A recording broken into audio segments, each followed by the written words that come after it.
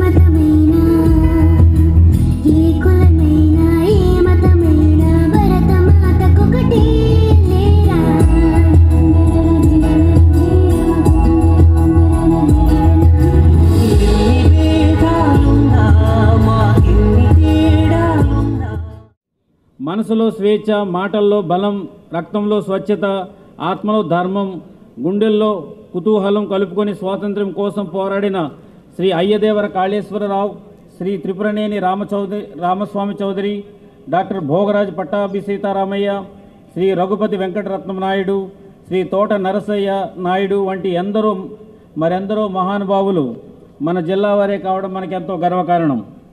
జాతీయ జెండా రూపశిల్పి శ్రీ పింగళి వెంకయ్య మన జిల్లా వాసే. శ్రీ మట్నూరి కృష్ణారావు స్థాపించిన కృష్ణపత్రిక శ్రీ కాశీనాథుని నాగేశ్వరరావు పంతులు స్థాపించిన ఆంధ్రపత్రికతో జాతీయోద్యమంలో జిల్లా కీర్తి నలుదిశలా వ్యాపించింది. ఈ సందర్భంగా వారి జ్ఞాపకాలను గుర్తు చేసుకుంటున్నాం. గణతంత్ర రాజ్యాన్ని అందించేందుకు ఎంతగానో శ్రమించిన మహనీయులను గుర్తు చేసుకుంటూ వారందరికీ పేరు పేరున నమస్కరిస్తూ మరోసారి గణతంత్ర శుభాకాంక్షలు తెలియజేస్తున్నాను. ఈ శుభ సందర్భంగా జిల్లాలో అమలవుతున్న సంక్షేమ అభివృద్ధి కార్యక్రమాలను మీకు వివరించడం నా కర్తవ్యంగా భావిస్తున్నాను. జగనన్నకు చెబుదాం. జగనన్నకు చెబుదాం కార్యక్రమం కింద జిల్లాలో ఇప్పటి వరకు పన్నెండు వేల నాలుగు వందల ఏడు అర్జీలు అందగా పదకొండు వేల ఎనిమిది వందల నలభై అర్జీలు పరిష్కరించడం జరిగింది. వ్యవసాయ రంగం రైతన్నల సంక్షేమమే రాష్ట్ర ప్రభుత్వ విధానం రైతు సంక్షేమానికి అనేక పథకాలు ప్రవేశపెట్టి అమలు చేస్తుంది. పంటల సాగు పెట్టుబడి ముందుగా రైతులకు అందించేందుకు వైఎస్ఆర్ రైతు భరోసా పిఎం కిసాన్ పథకం కింద గత నాలుగున్నరేళ్ళలో జిల్లాలో లక్షన్నర మంది రైతులకు ఒక వెయ్యి ఆరు కోట్ల రూపాయలు ఐదు విడతల్లో రైతుల జ ఖాతాల్లో జమ చేయడం జరిగింది. రెండు వేల ఇరవై మూడు ఇరవై నాలుగు సంవత్సరంలో ఇప్పటి వరకు నాలుగు వేల మూడు వందల నలభై నాలుగు పాయింట్ ఎనిమిది కోట్ల రూపాయల పంట రుణాలు మరియు రెండు వేల ఐదు వందల పదమూడు పాయింట్ నలభై నాలుగు కోట్ల రూపాయల వ్యవసాయ కాల పరిమితి రుణాలు రైతులకు అందించడం జరిగింది. తుఫాను అధిక వర్షాలు వరదలు వంటి ప్రకృతి వైపరీత్యాల సందర్భంగా పంట నష్టపోయిన ఒకటి పాయింట్ అరవై ఐదు లక్షల మంది రైతులకు గత నాలుగున్నరేళ్ళలో నూట ఇరవై ఆరు కోట్ల రూపాయలు ఇన్స్ ఇన్పుట్ సబ్సిడీ అరవై ఐదు వేల మందికి రైతులకు నూట ఇరవై ఒకటి పాయింట్ ఐదు కోట్ల రూపాయల ఉచిత పంటల బీమా సొమ్ము వైఎస్ఆర్ సున్నా వడ్డీ పంట రుణాల పథకం కింద ఒకటి పాయింట్ ఇరవై ఆరు లక్షల మంది రైతులకు ఇరవై నాలుగు కోట్ల రూపాయలు అందించడం జరిగింది. రైతు సాగు చేసిన ప్రతి ఎకరం నమోదు చేసి వివిధ పథక ప్రభుత్వ పథకాల కింద అవనిగడ్డ గాంధీ క్షేత్రంలో మాజీ ఉపసభాపతి మండలి బుద్ధప్రసాద్ ఆధ్వర్యంలో గణతంత్ర దినోత్సవ వేడుకలు ఘనంగా జరిపారు.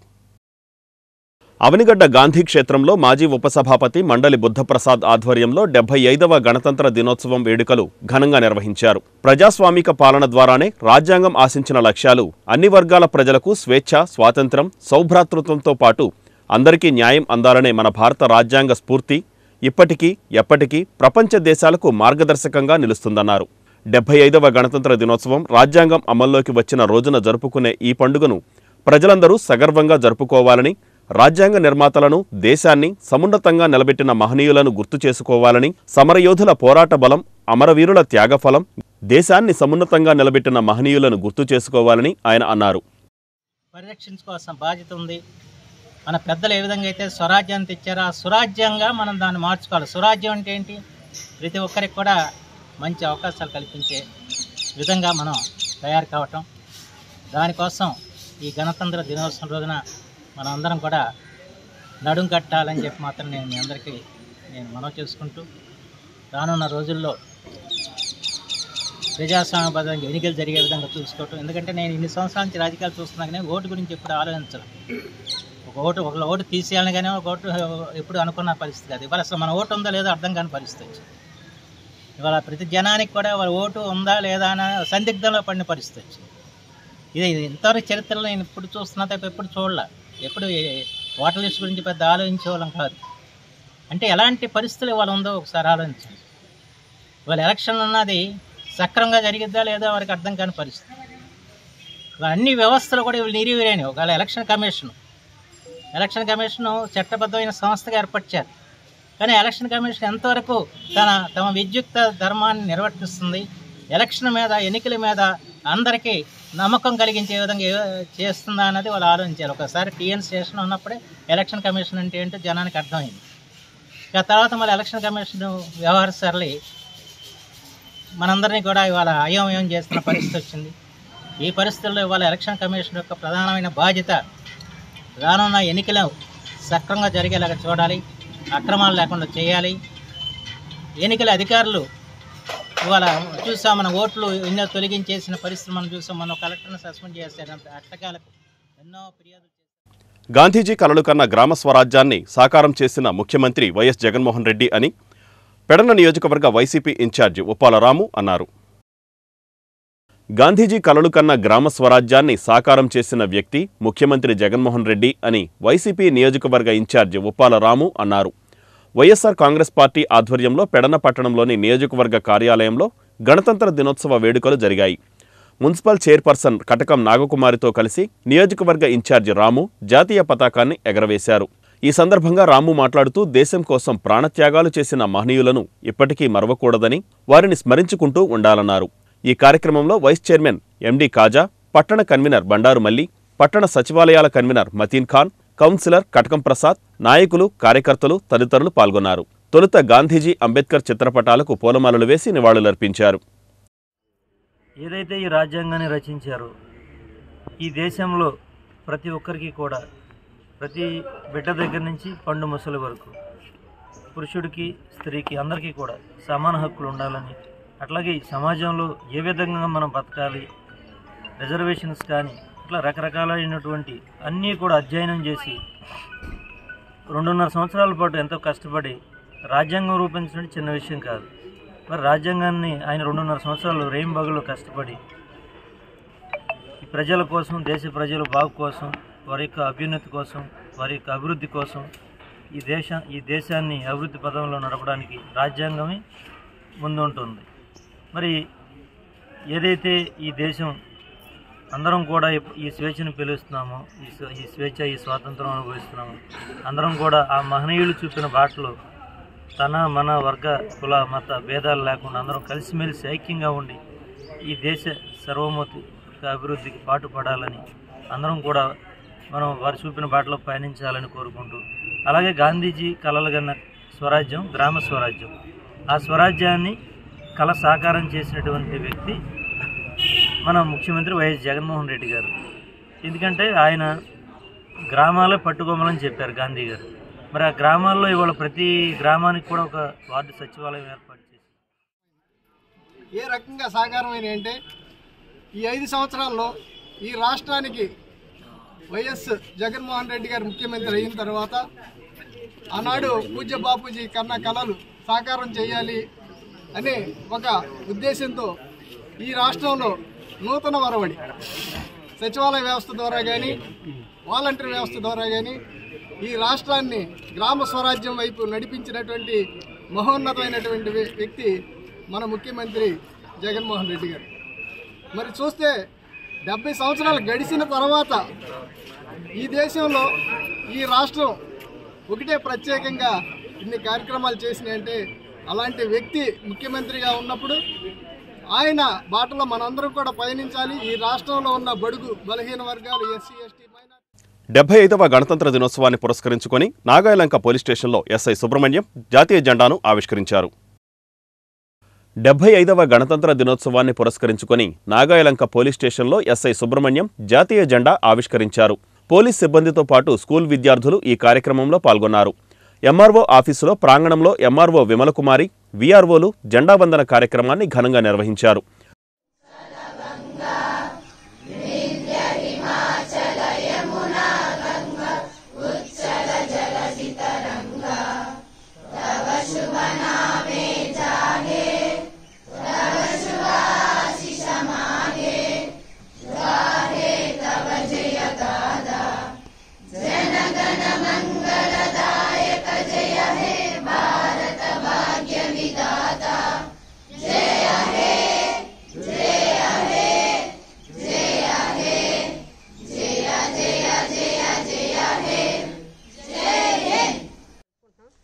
సంబంధించి నాకు తెలిసిన కొన్ని విషయాలు చెప్తాను.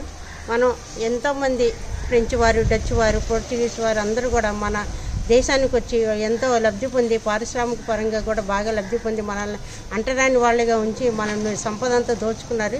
అలాగే రెండు వందల సంవత్సరాల క్రితం జ- జరిగిన దాన్ని మన రాజకీయ నాయకులు మరి అప్పుడున్న మహాత్మా గాంధీ జవహర్లాల్ నెహ్రూ వల్లభాయ్ సర్దార్ వల్లభాయ్ పటేల్ అందరూ కూడా భగత్ సింగ్ ఇలాగ పేరు పేరిన అందరికీ కూడా అందరూ కూడా అహింసాయుతంగా మరి గాంధీ గారు సూచించిన మార్గంలో నడిచి పంతొమ్మిది వందల నలభై ఏడు ఆగస్టు పదిహేనున అర్ధరాత్రి మనకి స్వాతంత్రం తెచ్చి ఉన్నారు. మరి స్వాతంత్రం అయితే వచ్చింది కానీ మనం ఎలా నడవాలి మన దిశానిర్దేశాలు ఏంటనే ఉద్దేశంతో అందరూ కూడా మరి దీనికి ఒక రాజ్యాంగాన్ని రూపొందించాలనే ఉద్దేశంతో అప్పుడు ముసాయిదా కమిటీని ఏర్పాటు చేసి పంతొమ్మిది వందల నలభై తొమ్మిది నవంబర్ ఇరవై ఆరున మరి ఆ రోజు భారత రాజ్యాంగాన్ని మన డాక్టర్ బిఆర్ అంబేద్కర్ గారి సమక్షంలో మరి ఆయన రచించి ఉన్నారు. ఈ రచించడానికి మరి రెండు సంవత్సరాల పదకొండు నెలల స్కాలర్షిప్ ఇంగ్లీష్ మీడియం హైస్కూల్ విద్యార్థులు జాతీయ నాయకుల వేషధారణతో నాగాయలంక ప్రధాన సెంటర్లో మానవహారం నిర్వహించి గణతంత్ర దినోత్సవం నాయకుల యొక్క త్యాగాలను విద్యార్థులకు గుర్తు చేశారు. స్కాలర్ ప్రిన్సిపల్ సునీల్ పట్నాయక్ తదితరులు ఈ కార్యక్రమంలో పాల్గొన్నారు.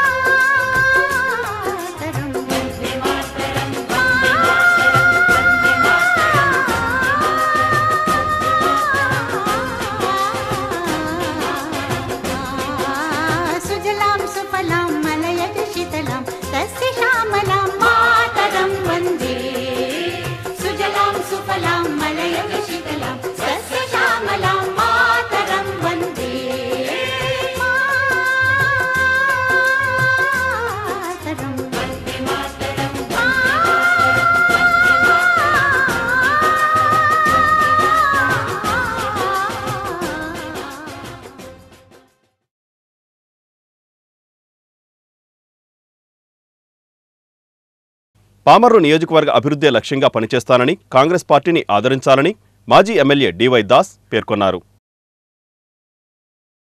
పామర్రు నియోజకవర్గ అభివృద్ధి ప్రజల సంక్షేమమే ధ్యేయంగా పనిచేస్తానని పామర్రు మాజీ ఎమ్మెల్యే డివై దాస్ అన్నారు.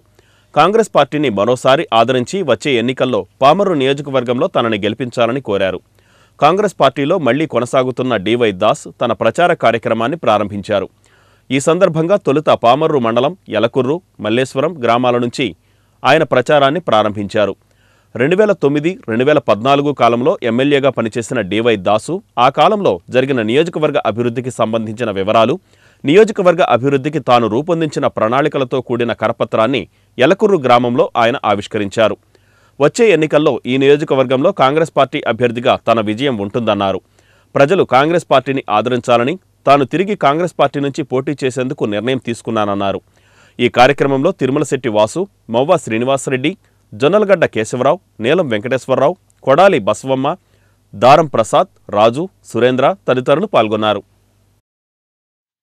మరి వేలాది కోట్ల రూపాయలు ఏడు వందల కోట్ల రూపాయలు నేను పా డెవలప్మెంట్ యాక్టివిటీస్ అన్నీ కూడా రోడ్లేంటి అనేక రకాలైనటువంటి మంచినీరు మరి ఇతరమైనటువంటి ఇళ్ళ స్థలాలు ఇళ్ళు ఎన్నో వంచెలలో రకాలైనటువంటి అనేక రకాలైనటువంటి ప్రజలకు కావలసినటువంటి అవసరాలన్నీ కూడా తీరుస్తూ దరిదాపు ఐదు వందల కోట్ల రూపాయలు నేను ఖర్చు చేయడం జరిగింది.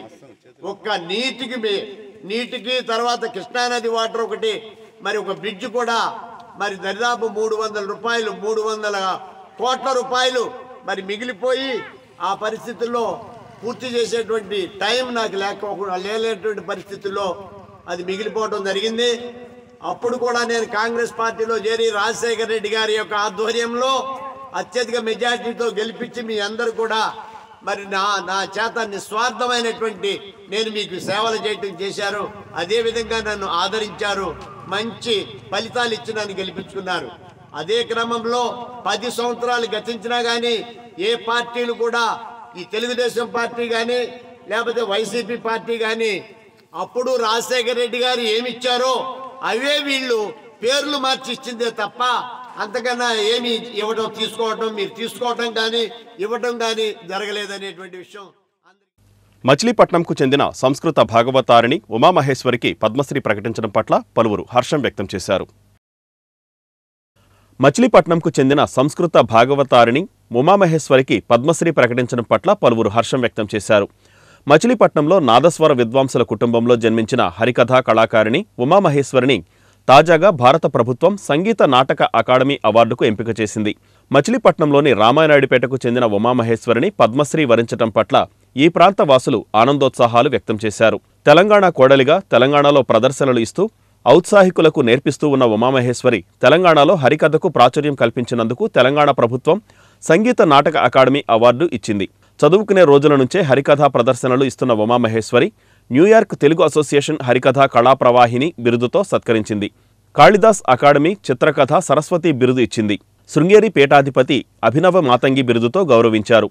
లిమ్కా బుక్ ఆఫ్ రికార్డ్స్లో పేరు నమోదైంది. మాజీ రాష్ట్రపతి జ్ఞాని జైల్ సింగ్ ఏకైక సంస్కృత హరికథా కళాకారిణి బిరుదు ప్రదానం చేశారు. ప్రజలందరూ పట్టణ ప్రజలందరికీ గణతంత్ర శుభాకాంక్షలు.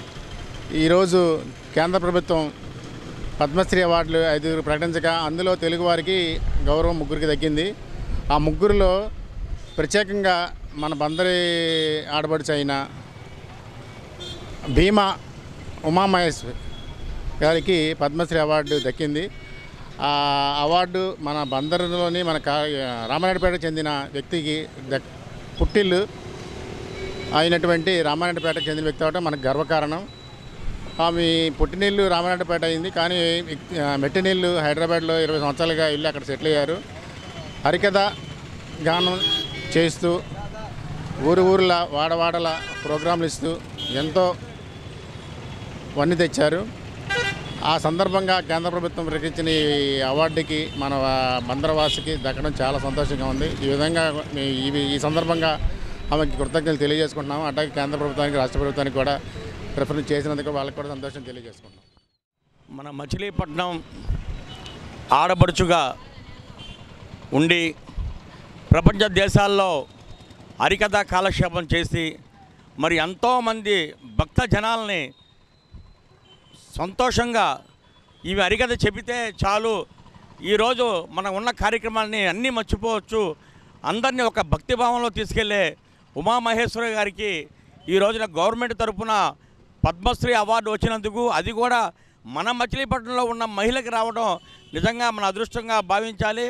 వారు ఇలాంటి కార్యక్రమాలు ఇంకెన్నో చేయాలని చెప్పి మన మచిలీపట్నం కీర్తి ప్రతిష్టల్ని ప్రపంచమంతా కూడా తీసుకువెళ్ళాలని చెప్పి మరొకసారి ఆవిడికి మా హృదయపూర్వక ధన్యవాదాలు తెలియజేస్తున్నాను. గణతంత్ర దినోత్సవం సందర్భంగా వాడవాడలా త్రివర్ణ పతాకం రెపరెపలాడింది.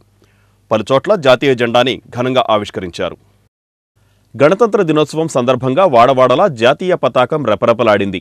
పలు ప్రాంతాలలో త్రివర్ణ పతాకాన్ని ఘనంగా ఆవిష్కరించారు. డెబ్బై ఐదవ గణతంత్ర దినోత్సవం సందర్భంగా వివిధ ప్రాంతాలలో జాతీయ పతాకాన్ని ఘనంగా ఆవిష్కరించారు. పట్టణంలోని చారిత్రాత్మక కోనేరు సెంటర్లో మేయర్ చిటికన వెంకటేశ్వరమ్మ జాతీయ పతాకాన్ని ఆవిష్కరించారు. Deputy mayor Seelam Bharathi YCP పట్టణ convener Shilardada municipal commissioner Chandraiah పలువురు కార్పొరేటర్లు పాల్గొన్నారు. ఈరోజు చాలా శుభదినం. శుభదాయకం సంతోషం. గణతంత్ర దినోత్సవ వేడుకలు డెబ్బై ఐదవ సంవత్సరం ఈరోజు జరుపుకోవటం చాలా సంతోషంగా ఆనందంగా కూడా ఉంది.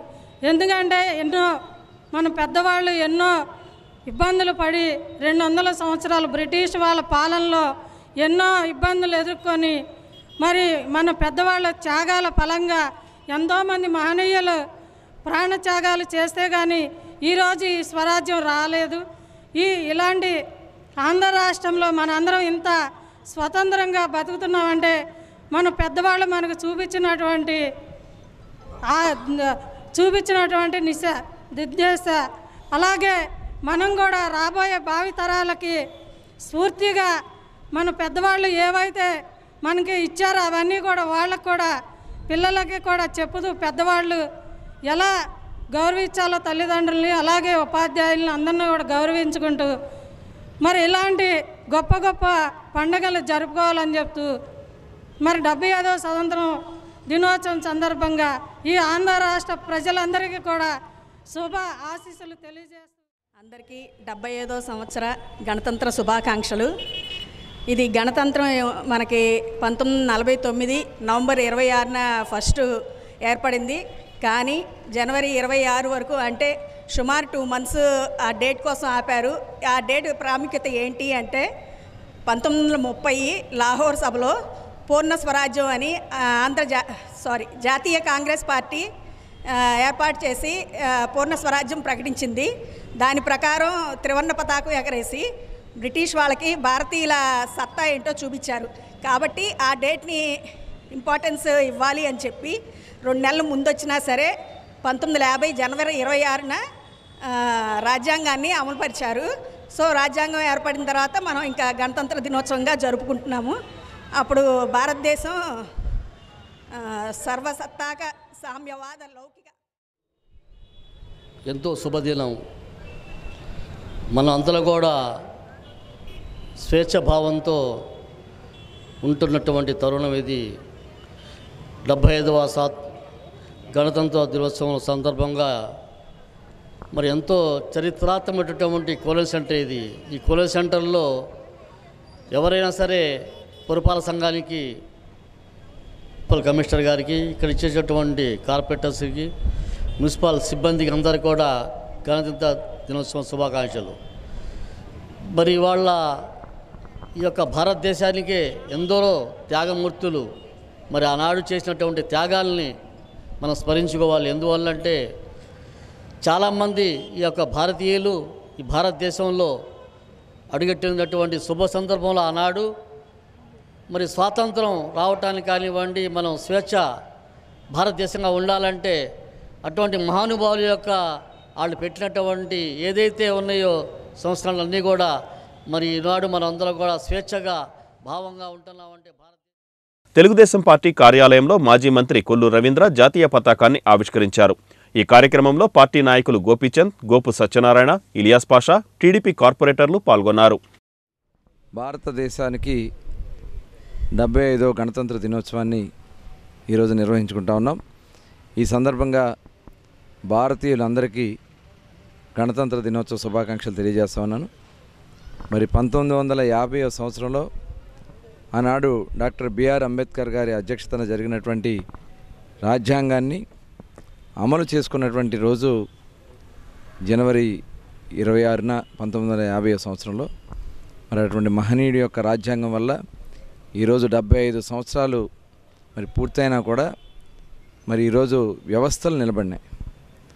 ఇవాళ నాలుగు స్తంభాలుగా ఉండాల్సినటువంటి వ్యవస్థల్ని నిర్మాణం చేసుకోవడంలో మరి రాజ్యాంగాన్ని అటు ఎగ్జిక్యూటివ్ కానీ జ్యుడిషియరీ కానీ అదేవిధంగా పొలిటికల్ కానీ మీడియా.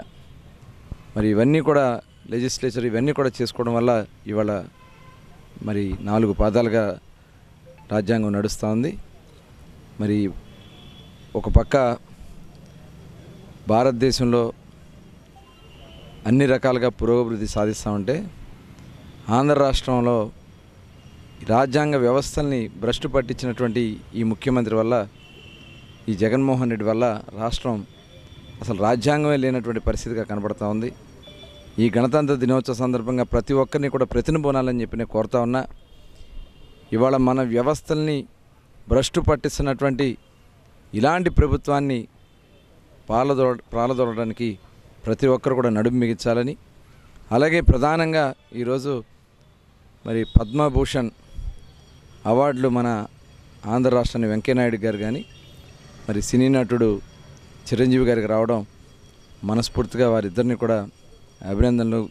అదేవిధంగా వారికి శుభాకాంక్షలు తెలియజేస్తూ అలాగే చాలామందికి మరి ఈ రోజున డెబ్భై ఐదవ జనతంత్ర దినోత్సవ సందర్భంగా తెలుగుదేశం పార్టీ గణతంత్ర దినోత్సవ సందర్భంగా తెలుగుదేశం పార్టీ కుటుంబ సభ్యులందరికీ కూడా అభినందనలు తెలియజేస్తూ ఈ కార్యక్రమంలో పాల్గొన్నటువంటి తెలుగుదేశం పార్టీ పోలిట్ బ్యూరో సభ్యులు కొల్లు రవీంద్ర గారికి వివిధ స్థాయిలో ఉన్నటువంటి నాయక అందరికీ కూడా నమస్కారాలు తెలియజేస్తూ దేశం ముందు తర్వాత రాష్ట్రం. ఈ రోజున దేశాన్ని కాపాడుకోవాలి రాష్ట్రాన్ని కూడా కాపాడుకోవాలి. ఇవాళ న్యాయ వ్యవస్థలు కానీ అన్నీ కూడా చిన్నాభిన్నం చేసినటువంటి ప్రభుత్వాన్ని కూలదోలటానికి సమగ్రంగా ఈ రాష్ట్రాన్ని అభివృద్ధి చేయటానికి మనమంతా కూడా ఈ జనతంత్ర దినోత్సవ సందర్భంలో ప్రతినిబొనాలని చెప్పి ప్రతి వాళ్ళని కోరుకుంటున్నాను. థ్యాంక్ యూ ఐదవ గణతంత్ర దినోత్సవం సందర్భంగా మచిలీపట్నం పార్ల అసెంబ్లీ ఆఫీస్లో ఈ రోజున జాతీయ జెండాను ఎగరవేసుకుంటాం. కొల్లు రవీంద్ర గారి సమక్షంలో జరిగింది. ఆనాడు పంతొమ్మిది వందల యాభైలో డాక్టర్ బాబాసాహెబ్ అంబేద్కర్ రాజ్యాంగాన్ని ప్రవేశపెట్టి ఆమోదిస్తే ఆ రోజున ఈ రోజున ఉన్నటువంటి పరిస్థితిలో ఈ ఉన్నటువంటి ముఖ్యమంత్రి జగన్మోహన్ రెడ్డి ఆ రాజ్యాంగాన్ని పక్కన పెట్టేసి రాజారెడ్డి రాజ్యాంగం మాత్రమే ఇప్పుడు ఉన్నటువంటి పరిస్థితిలో జరుగుతుంది. ఇలాంటి ముఖ్యమంత్రిని పారదోలాలి అని అంటే అందరూ కూడా ముందుకు రావాలి. మళ్ళీ ఈ అంబేద్కర్ రాజ్యాంగాన్ని మనం అమల్లో తీసుకోవాలని చెప్పి ప్రతి ఒక్కరిని కూడా కోరుకుంటూ ఈ గణతంత్ర దినోత్సవం సందర్భంగా అందరికీ కూడా హృదయపూర్వక నమస్కారాలు. మీ అందరికీ కూడా ఈ రాజ్యాంగాన్ని మళ్ళీ అమలుపరచాలనంటే ఈ సైకో పోవాలని చెప్పేసానని మీ అందరిని కూడా మనస్ఫూర్తిగా అందరినీ కూడా కోరుచుకో కోరుతున్నాం జనసేన పార్టీ కార్యాలయంలో రిపబ్లిక్ డే సందర్భంగా పార్టీ కార్పొరేటర్ పినిశెట్టి ఛాయాదేవి జాతీయ పతాకాన్ని ఆవిష్కరించారు. పార్టీ నాయకులు గడ్డం రాజు తదితరులు ఈ కార్యక్రమంలో పాల్గొన్నారు. అందరికీ నమస్కారం అండి. మన మచిలీపట్నం నియోజకవర్గం జనసేన పార్టీ కార్యాలయం నందు రిపబ్లిక్ డే సందర్భంగా జెండా ఎగరవేయడానికి వచ్చినటువంటి మన పెద్దలందరికీ నియోజకవర్గ ప్రజలకు జన సైనికులకు అందరికీ రిపబ్లిక్ డే శుభాకాంక్షలు. మన భారత రాజ్యాంగాన్ని అమలుపరిచినటువంటి ఈరోజు డెబ్బై ఐదవ గణతంత్ర దినోత్సవము. మన భారత రాజ్యాంగాన్ని పంతొమ్మిది వందల యాభై జనవరి ఇరవై ఆరో తారీఖున మన రాజ్యాంగాన్ని అమలు అమలులోకి రావడం జరిగింది. దానినే మనందరం కూడా రిపబ్లిక్ డేగా జరుపుకుంటున్నాము. పంతొమ్మిది వందల నలభై ఐదు నలభై ఏడు ఆగస్టు పదిహేనో తారీఖున బ్రిటిష్ వారి పాలన నుంచి మన మన దేశాన్ని మనం కాపాడుకున్నప్పటికీ మనకు సొంత రాజ్యాంగం అనేది లే లేకపోవడం వలన అప్పటి ప్రముఖులు అయినటువంటి డాక్టర్ బిఆర్ అంబేద్కర్ గారి సౌజన్యంతో మరొక రెండు వందల నలభై ఏడు మంది సభ్యులు కలిసి పెద్దవాళ్ళందరూ కలిసి మన భారత రాజ్యాంగాన్ని రూపొందించడం జరిగింది. దాన్నే మనం జనవరి ఇరవై ఆరు పంతొమ్మిది వందల యాభై బా యాభై యాభై సంవత్సరం నుంచి మనం రాజ్యాంగాన్ని అమల్లోకి తెచ్చుకున్నాము. అటువంటి రాజ్యాంగాన్ని మనందరం కూడా భారతదేశ ప్రజలందరూ కూడా దాన్ని గౌరవిస్తూ మన విధానాన్ని మన మన యొక్క విధానాన్ని ఆచరణని కూడా అందరిని కూడా అందరం కూడా పరిపాలిస్తూ మన దేశ రాజ్యాంగాన్ని బలోపేతం చేసుకోవాలని కోరుకుంటూ అందరం కూడా రిపబ్లిక్ డే అందరికీ కూడా మరొకసారి రిపబ్లిక్ డే శుభాకాంక్షలు. జై జనసేన జై హింద్. మా సోదరి శ్రీమతి నాగ ఛాయాదేవి గారి చేతుల మీదుగా జెండా ఆవిష్కరణ జరిగింది.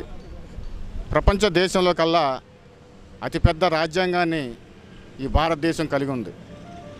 ఎందుకంటే భారతదేశంలో విభిన్న సంస్కృతితో కూడినటువంటి ప్రజలు ఈ భారతదేశంలో ఉన్నారు.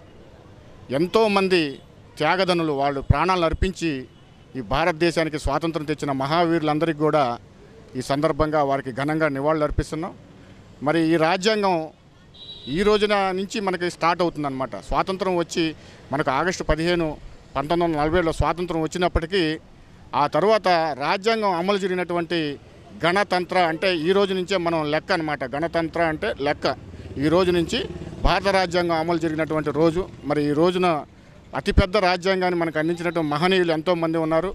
అందులో డాక్టర్ బిఆర్ అంబేద్కర్ గారు ముందు వరుసలో ఉంటారు. మరి అటువంటి మహానుభావుల త్యాగ ఫలితం మనం ఈ రోజున స్వేచ్ఛావాయులు పిలుస్తున్నాం. భారత రాజ్యాంగం పట్ల ప్రతి ఒక్కరూ కూడా మరి వారి ఏదైతే అమలు జరిపారో దాన్ని మనం ఖచ్చితంగా అమలుపరచాలి. అనేక రకమైన చట్టాలు ఇది ఈ భారత రాజ్యాంగంలో అమలు జరిగి ఉన్నాయి. భారత రాజ్యాంగంలో ఉన్నటువంటి ప్రతి ఒక్క పంక్తి కూడా చాలా విలువైంది. దీన్ని భావి భారతరాలకి ప్రతి ఒక్కరూ కూడా చదివేటట్టుగా మన ప్రభుత్వాలు తీసుకుంటే చర్య తీసుకుంటే అద్భుతమైనటువంటి భారత రాజ్యాంగాన్ని భారత పౌరులు చక్కగా రిపబ్లిక్ దినోత్సవం సందర్భంగా లక్ష్మీ టాకీస్ సెంటర్లోని బీఆర్ అంబేద్కర్ విగ్రహానికి పలువురు దళిత జేఏసీ నాయకులు పూలమాలలు వేసి ఘనంగా నివాళులర్పించారు. జక్కుల ఆనందబాబు బూరగ రామారావు బేతపూడి రవి చీలి రవీంద్ర తదితరులు ఈ కార్యక్రమంలో పాల్గొన్నారు. Market yard chairman Gadelli David. ఈరోజు పండగే పండగ. ఎందుకంటే పండగల రోజు జరుపుకునే ఇది లాస్ట్ పండగ. ఈ భారతదేశంలో జన్మ లో నుంచి తల్లిదండ్రుల నుంచి వస్తే ఈ రోజు నుంచి రాజ్యాంగంలో నుంచి మనిషికి హక్కులు కల్పించిన రోజే ఈ యొక్క గణతంత్ర దినోత్సవం. ఈరోజే మనిషికి ఏమేమి హక్కులు కావాలి అనే దాన్ని పుట్టించింది బాబాసాహెబ్ అంబేద్కర్ గారు. చాలామంది అంటున్నారు రెండు వందల ఎనభై నాలుగు మంది రెండు వందల ఎనభై నాలుగు మందికి ఆ కమిటీకి చైర్మన్ అంబేద్కర్ గారు. తర్వాత తొమ్మిది మంది వచ్చారు. ఆ తొమ్మిది మందిలో ఎనమండుగురు చనిపోయారు. అంబేద్కర్ గారే ఉండి రెండు సంవత్సరాల పదకొండు నెలల పద్దెనిమిది రోజులు ఉండి రాజ్యాంగాన్ని రచించి పార్లమెంటుకి ఆమోదింపజేశాడు.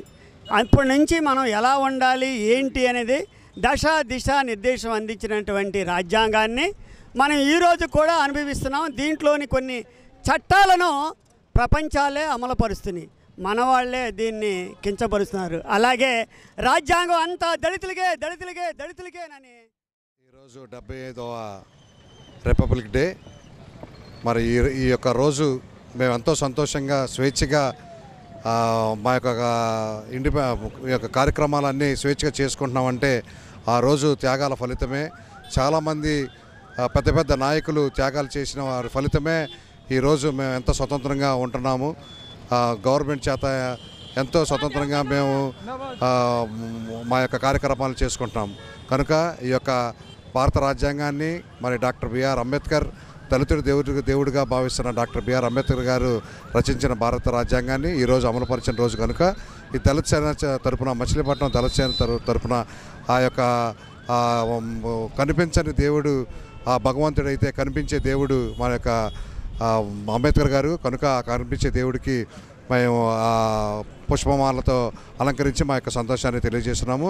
కనుక హ్యాపీ రిపబ్లిక్ దళిత జాయింట్ జాయింట్ యాక్షన్ కమిటీ ఆధ్వర్యంలో మరి గణతంత్ర దినోత్సవం కార్యక్రమాన్ని మరి స్థానిక లక్ష్మీ సెంటర్ అంబేద్కర్ సర్కిల్కి మరి పూలమాలేసి ఘనంగా నిర్వహించడం జరిగింది. మరి ఎందుకంటే మరి సుమారు ఇరవై ఒక్క నెలల పాటు శ్రమించి భారత రాజ్యాంగం నిర్మించిన డాక్టర్ బిఆర్ అంబేద్కర్ గారు మరి పార్లమెంట్కి పొందుపరిస్తే అది ఈరోజు ఆమోదించబడింది. ఈ రోజు నుంచి మరి జనవరి ఇరవై ఆరు నుంచి భారత రాజ్యాంగం భారతదేశంలో అమలుపరచబడుతూ సుమారుగా స్వతంత్రం వచ్చి డెబ్బై ఐదేళ్ళు కూడా ఇప్పటికీ ఎంతో ఉన్నతంగా మరి అమలు జరపడుతుందంటే నిజంగా ప్రపంచ మేధావైన డాక్టర్ బిఆర్ అంబేద్కర్ గారు రచించబట్టే. కాబట్టి ఈ రాజ్యాంగం ఇంకా వర్ధిల్లాలని ముందు తరాలకి ఈ రాజ్యాంగం ఆదర్శం కావాలని వచ్చిన ప్రతి ఒక్కరు కూడా మరి హృదయపూర్వక గణతంత్ర దిన దిన శుభాకాంక్షలు తెలియజేస్తా ఉన్నాం. రిపబ్లిక్ డే పురస్కరించుకొని అంబేద్కర్ సర్కిల్లోని బీఆర్ అంబేద్కర్ విగ్రహానికి పలువురు ఎస్టీయు ఉపాధ్యాయ సంఘ నాయకులు పూలమాలలు వేసి ఘనంగా నివాళులర్పించారు. ఈ కార్యక్రమంలో సంఘ నాయకుడు కొమ్ము ప్రసాద్ తదితరులు పాల్గొన్నారు. డెబ్బై ఆరో గణతంత్ర దినోత్సవ వేడుకలు రంగరంగ వైభవంగా ఈ దేశంలో జరుగుతూ ఉన్నాయి.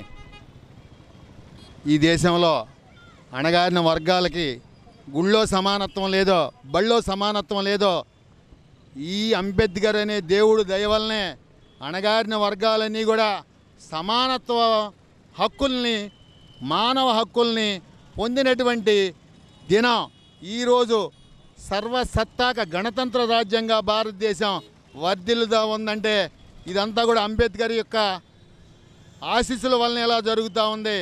ఈ ప్రభుత్వం అనేక పథకాలు చేపడుతుందంటే అదంతా కూడా అంబేద్కర్ ఆశీస్సుల వలనే జరుగుతూ ఉంది. అంబేద్కర్ అనే వ్యక్తి లేకపోతే కొంత ఇప్పటికీ కూడా ఈ దేశంలో సమానత్వం అనేది union bank of India regional ఆఫీసులో గణతంత్ర దినోత్సవ వేడుకలను ఘనంగా నిర్వహించారు.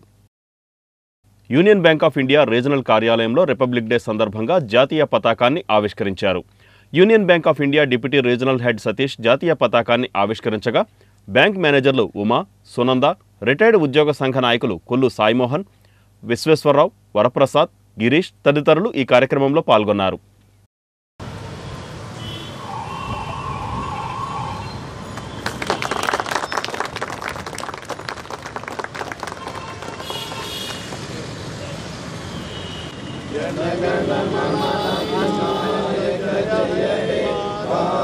न्दु गुजराट मराठा द्राविड उत्सलवङ्गिमाचल यमुना गङ्ग उत्सलचलकितरङ्ग्राहे तव सुभाषिष माहे राहे तव जय गादा staff and our staff as well as customers because uh, you have all gathered on this auspicious occasion of completion of 74th uh, Republic Day because on uh, 26th January of 1950 on this day we got republic we, we become republic and uh, the constitution has been enabled. So uh, even though we got independence in 1947 but the constitution has come into force on this day of 1950 because our constitution is the is a very is a written constitution different from many of the constitutions. And written constitution it is having it's originally having 395 articles and 8 schedules and it is the an elaborate and it gives the it, it is the framework of our country. Because it is uh, very important in it is the basic thing from our through which our country is been running.